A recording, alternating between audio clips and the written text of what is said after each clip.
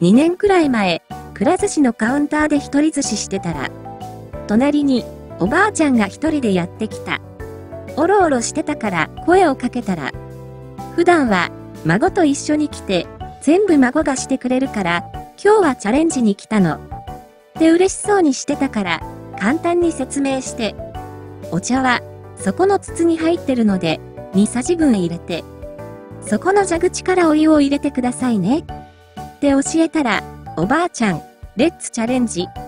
湯飲みにお茶の粉を入れて、蛇口のボタンを手で押した。焦って、湯飲みで押すんだと教えたら、おばあちゃん、恥ずかしそうにしながら、無事にお茶ができた。回ってるお寿司にチャレンジしてる姿も可愛かった。